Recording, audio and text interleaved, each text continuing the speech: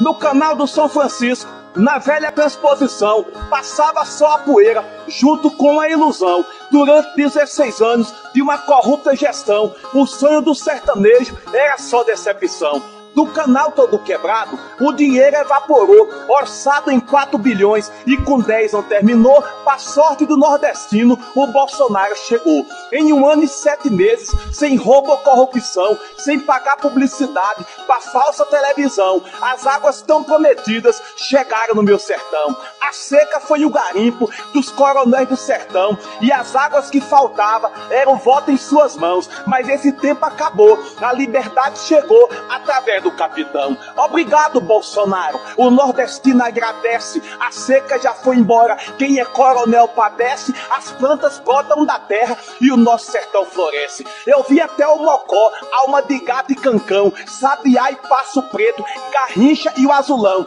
tomando banho nas águas em homenagem ao capitão. Até o Mandacaru, com força e disposição, enfrentou a secadura e a velha corrupção. Mesmo assim não pereceu e hoje ele floresceu floresceu em todo o nosso sertão. São Francisco está feliz com essa transposição ao ver as águas saudáveis banhando o nosso sertão e já mandou te dizer que abençoou você, ó ilustre capitão. Bolsonaro presidente é um nome que prevalece em todo o nosso país e o povo reconhece. Corrupto perde o rumo e o invejoso adoece. Eu termino essa poesia, mas nunca vou me esquecer. Sou do estado da Bahia, da região de Irecê aonde produz feijão para toda a população do nosso Brasil comer. Aos amigos patriotas, eu imploro por favor, compartilhe essa poesia feita pelo trovador. Leve ao Bolsonaro, chapéu de couro mandou.